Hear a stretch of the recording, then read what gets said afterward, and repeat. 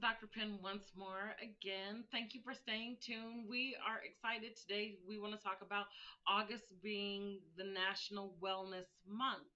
When I talk about wellness care, I don't mean just exercising and eating right. There are seven principles of wellness the first three are your mind, body, and soul. If you don't take care of your mind, you can't begin to lay plans that you want for your future.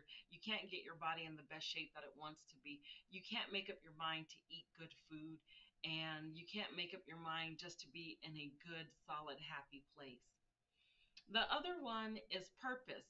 Once our mind, body, and soul is right, we want to begin working on our purpose, our purpose to our family, our purpose to our community, our purpose to ourselves, and what it is that we were designed to do.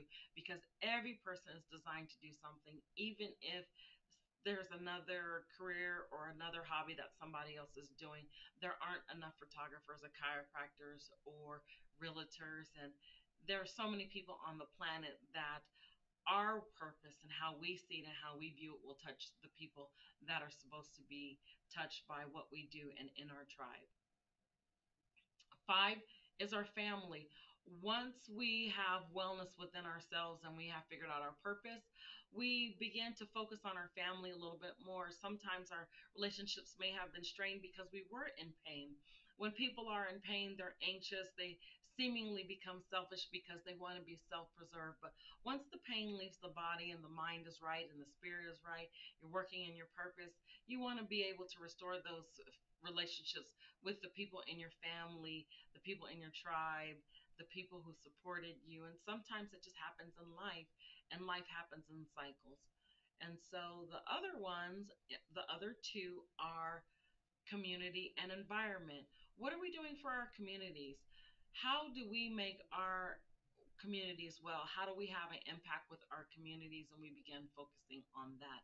We begin focusing on the environment, cleaning the environment up, making sure that where we live is refreshing to the people who come and visit that area. I live in Colorado Springs, so we want to make sure that our mountains are kept clean as we're hiking and that all the debris and things that sometimes people leave behind are good. We want maybe we want a garden. Maybe you want to try something different as far as what you're doing with your food and how you're nurturing your body and that could be something that is very environmental.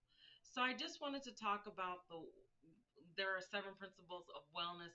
It is a book that I wrote. It's an ebook. If you're interested in, please let me know. We could put the link down below once you have left information that we may contact you through an email. And so, hey, happy August, happy Wellness Month, and start thinking about moving uh, your body, start thinking about good thoughts, start thinking about good food and good relationships and being in the right environment and really reaching the point of wellness. I hope this is very helpful to you. If this was, please like and share with somebody. Please subscribe to our channel. And below is the link um, for you to get the information about what the seven principles of wellness are. I hope that you guys will stay great and we'll see you soon. Thank you.